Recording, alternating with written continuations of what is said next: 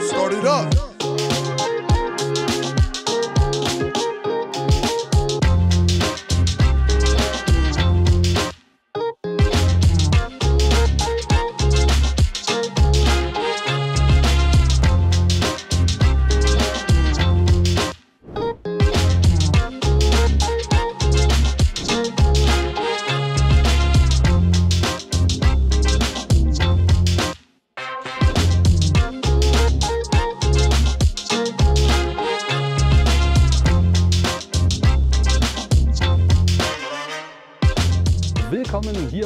Asphaltart aus einem Fotostudio in der Autostadt in Wolfsburg und neben mir, da steht der neue VW Taigo.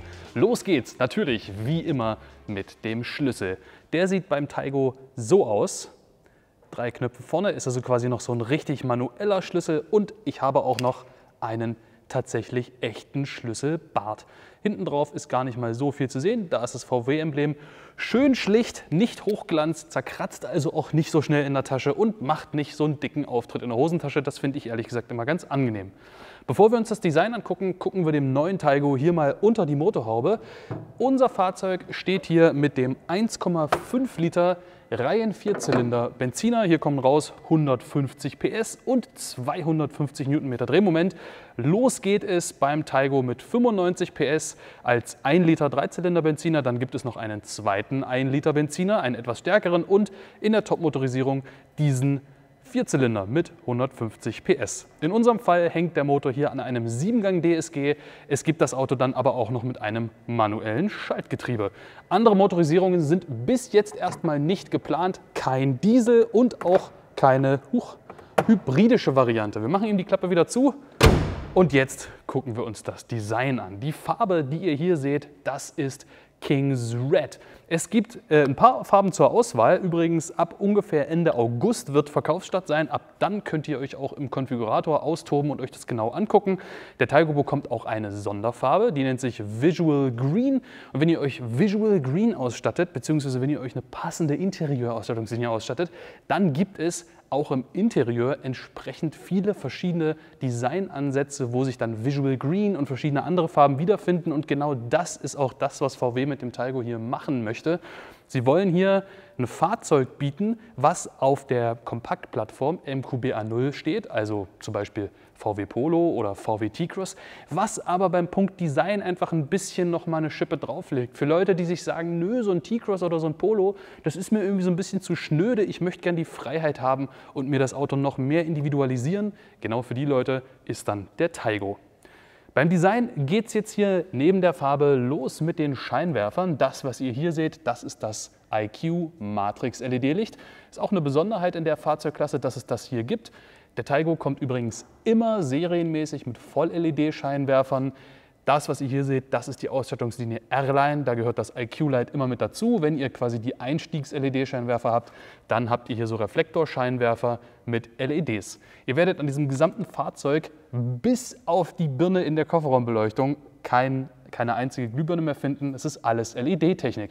So wie zum Beispiel auch diese Nebelscheinwerfer hier unten und auch hier mit diesen Voll-LED-Nebelscheinwerfern setzt sich der Taigo designmäßig nochmal ab vom T-Cross oder zum Beispiel auch vom Polo. Ich finde, das sieht ganz gut aus und das ist so ein bisschen so ein Dilemma wie beim aktuellen Golf 8 GTI zum Beispiel. Der hat ja diese 5-Punkt-Nebelscheinwerfer. Auch hier, finde ich, tragen diese Nebelscheinwerfer so stark zum Gesamtdesign bei, dass ich da fast mich versucht fühle, bei Tag ohne Nebel mit Nebelscheinwerfern zu fahren obwohl man das natürlich nicht machen sollte. Was euch jetzt hier wahrscheinlich auch direkt auffällt, das ist diese durchgängige LED-Leiste von den Scheinwerfern bis zum mittigen VW-Emblem. Und diese LED-Leiste, die kann ich mir in jeder Ausstattungslinie mit dazu holen. Die bekomme ich nämlich immer, wenn ich mir hier das IQ-Light, also das Matrix-LED-Licht ausstatte. Das finde ich cool, dass ich also auch eine niedrigere Ausstattungslinie wählen kann und wenn ich das schön finde, trotzdem dieses LED-Band bekomme. Hier seht ihr das neue R-Emblem, denn unser Taigo ist ausgestattet mit einer R-Line. Aufgrund dessen haben wir hier unten auch diesen Airline-typischen, diese Airline-typische Frontstoßstange in Hochglanz schwarz mit diesem etwas sportlicher und etwas aggressiver ausgeformten Kühlergrill hier unten. Es gibt für den Taigo auch noch das Black Style Paket. Da kommen dann noch so ein paar andere Designelemente in Schwarz dazu, die zeige ich euch gleich auf der Seite.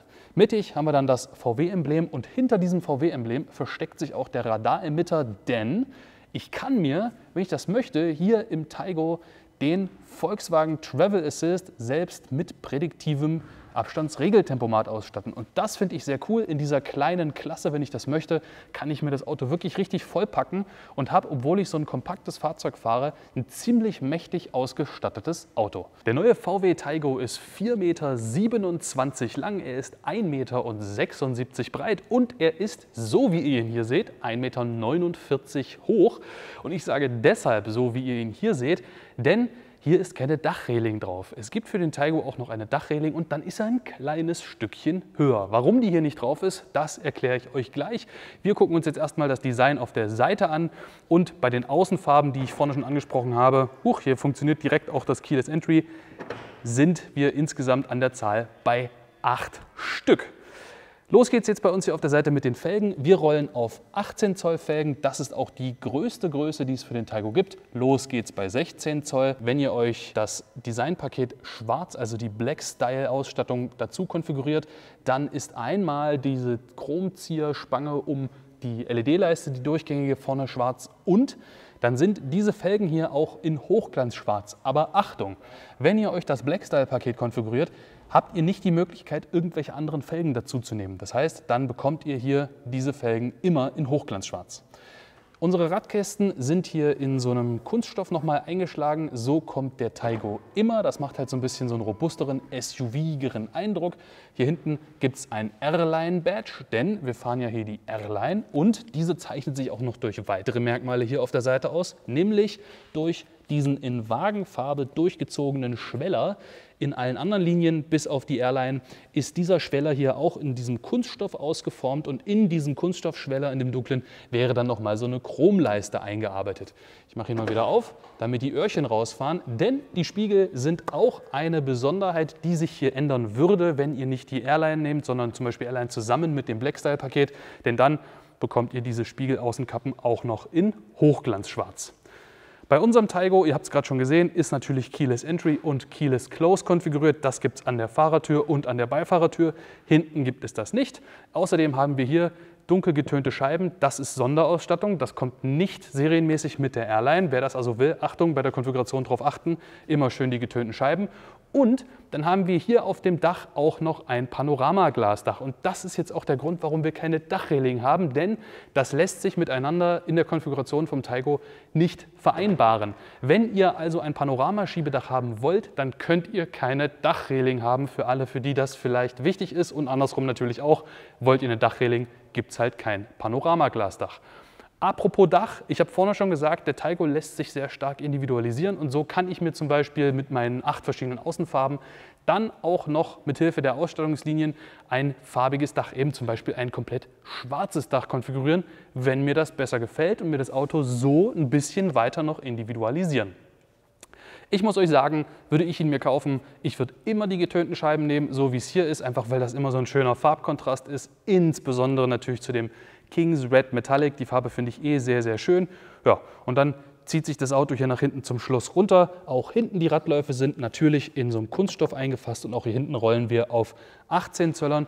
Und dann sind wir auch schon am Heck und das Heck, das fängt sich hier schon so ein bisschen an anzudeuten mit der neuen Rückleuchtengrafik. Und die gucken wir uns jetzt an. Und hier am Heck seht ihr jetzt auch, wozu dieses äußere Licht schon gehört, nämlich zu einem fast durchgängigen LED-Leuchtenband.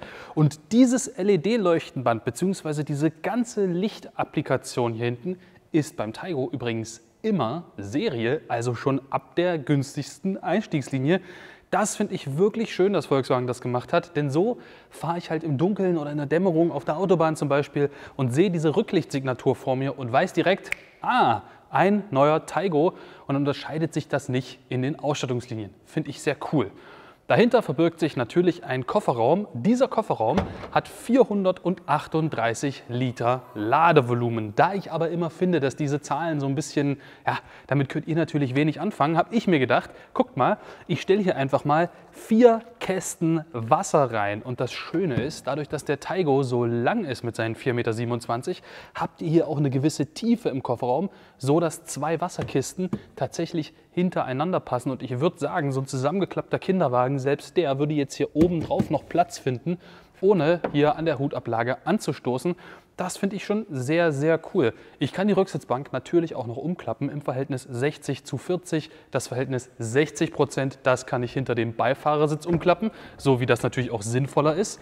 Und wenn ich das tue, zack, dann werden aus den 438 Litern insgesamt 874 Liter Ladevolumen und für diese Fahrzeugklasse, also MQBA0, da wo eben auch ein Polo oder ein T-Cross draufsteht, ist das doch schon eine ganz beachtliche Kofferraummenge. Das Einzige, was dann natürlich vielleicht für euch störend sein könnte im Alltag, das ist die in meinen Augen relativ hohe Ladekante.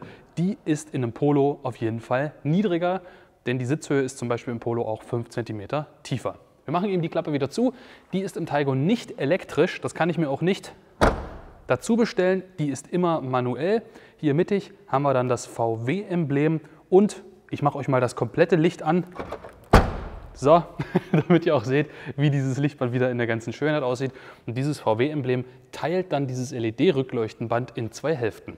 Was ich ehrlich gesagt ein bisschen schade finde, ist, ihr wisst schon, was jetzt kommt, mein Lieblingsthema Rückfahrkamera. Ich meine, immerhin kann ich mir die ausstatten für den Taigo, ist ja auch inzwischen echt ein großes Auto geworden, aber die sitzt leider nicht mehr hinter dem VW-Emblem, wo sie immer schön vom Wetter geschützt ist, sondern sie sitzt hier frei. Dafür hat sie aber immerhin eine Waschdüse bekommen, sodass ich mir den Schmutz dann im Notfall beim Rückwärtsfahren runterspülen kann.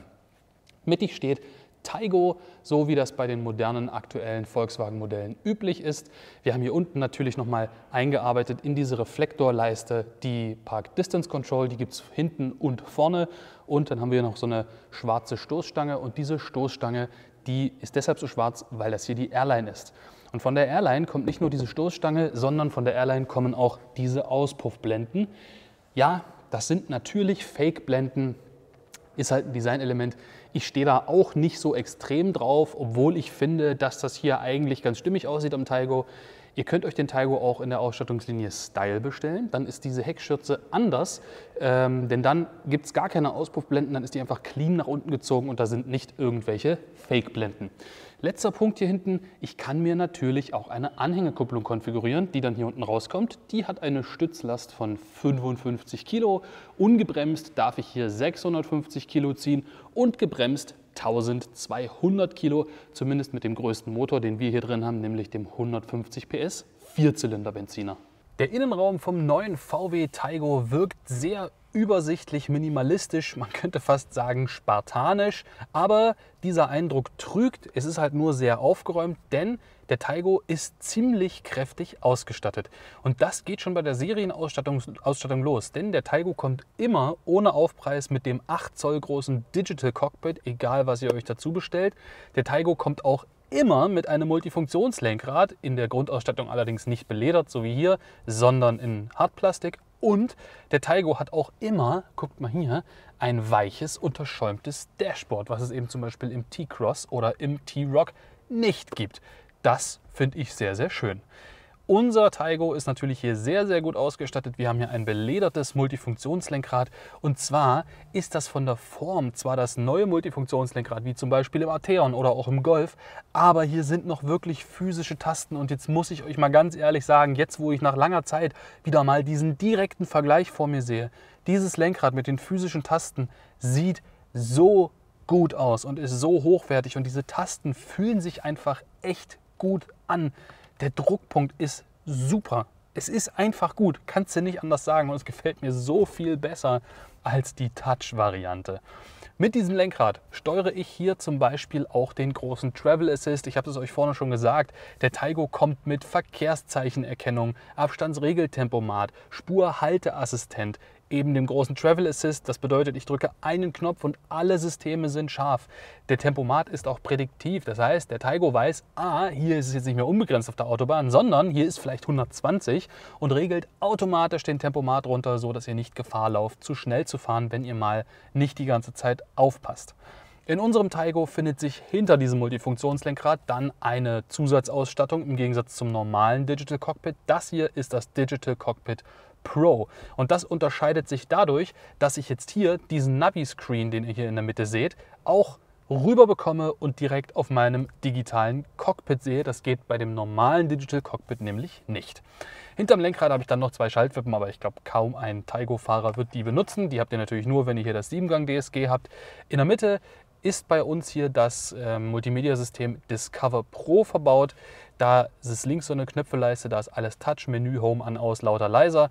Und dann läuft hier drauf nicht MIB 3, sondern das neue MIB 3.1. Und durch dieses gesamte System navigiere ich mich hier durch Swipen oder auch durch Gesten hindurch. Und was ich jetzt direkt mal sagen muss, MIB 3.1 scheint flüssiger zu laufen als noch der Vorgänger.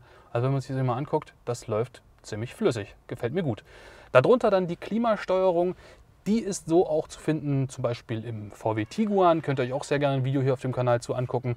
Alles mit so Touch-Bedienung. Allerdings finde ich die Touch-Bedienung hier sehr angenehm, denn jede Funktion ist nochmal so vertieft. Also ich merke richtig, aha, hier ist so eine Rille, wo ich rein kann, um jetzt hier zum Beispiel die Temperatur zu regeln. Und dann kann ich hier entweder in Einzelschritten drauf touchen oder ich swipe entlang. Und diese Klimabedienung funktioniert wirklich gut. Darunter gibt es noch ein Fach, da ist auch ein QI-Ladepad drin. Das hier ist ein iPhone 12 Pro Max, ein sehr großes Telefon. Auch das passt ohne Probleme rein und wird geladen. Dahinter dann eine Knöpfearmee, Start, Stopp, An, Aus, Fahrmodi. Zur Verfügung stehen hier Eco, Normal, Sport und Individual. Es gibt den Taigo nicht mit DCC, also ihr könnt hier nichts am Fahrwerk einstellen mit den Fahrmodi.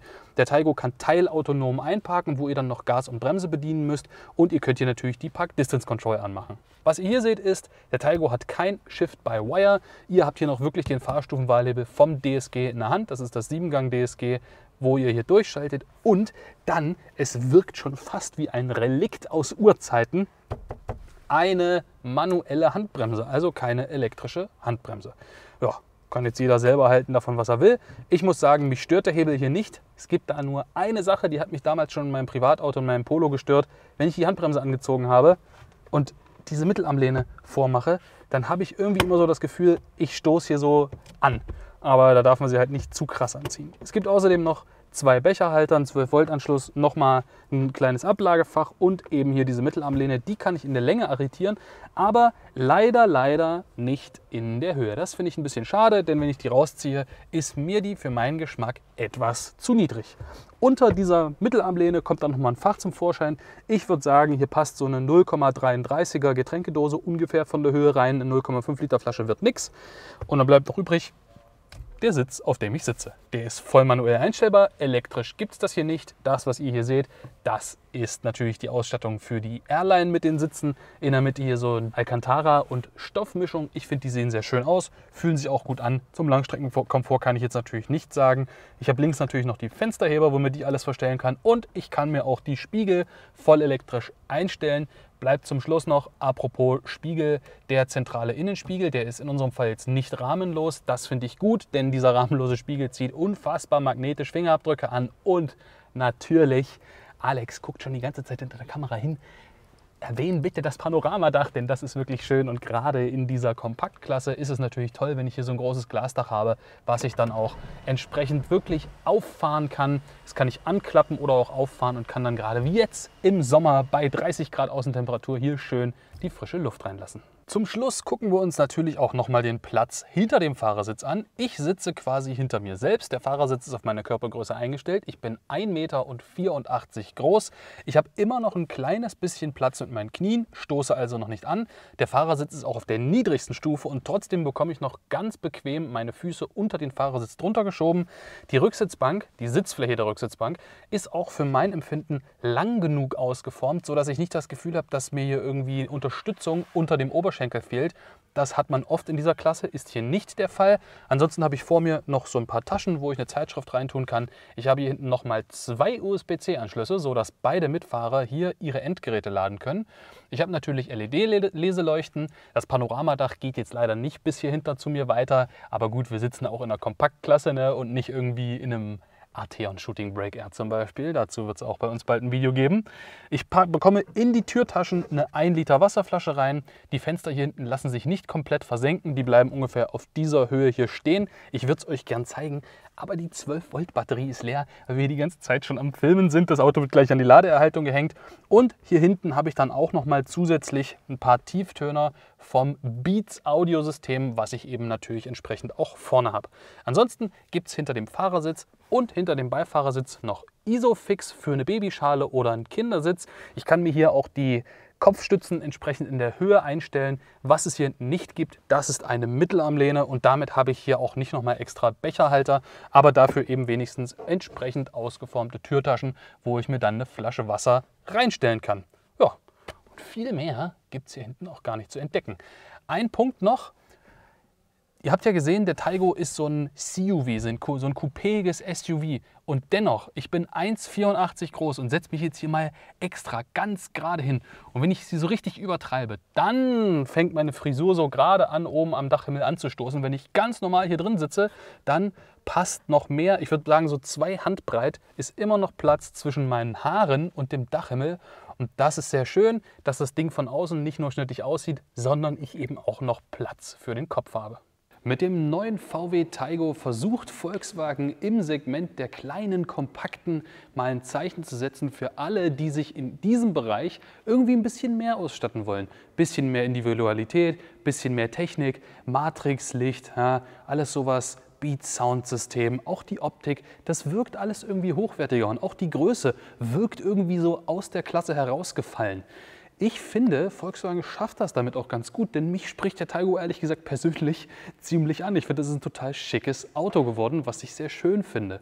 Preislich ist leider noch gar nichts bekannt und ich habe auch von den Volkswagen-Mitarbeitern hier nichts rausquetschen können. Aber ich mutmaße jetzt mal so ins Blaue hinein. So ein aktueller T-Cross geht los bei 20.000 Euro.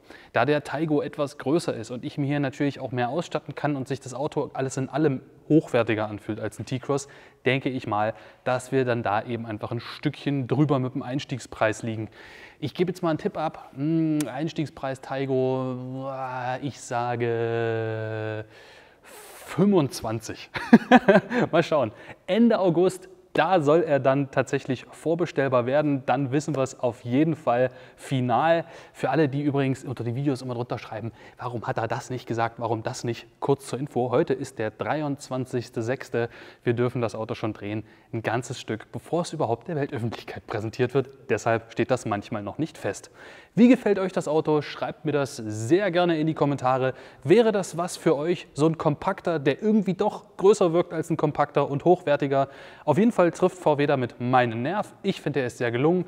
Wenn ihr Lust habt, abonniert sehr gerne diesen Kanal, dann verpasst ihr auch das nächste Video nicht. Und seid doch so nett, falls ihr Instagram habt und TikTok und Facebook, dann guckt doch einfach mal bei Asphalt Art bei Instagram, TikTok und Facebook vorbei, denn da findet ihr uns auch überall. In diesem Sinne, vielen Dank fürs Zuschauen und wir sehen uns im nächsten Video. Bis dann, ciao.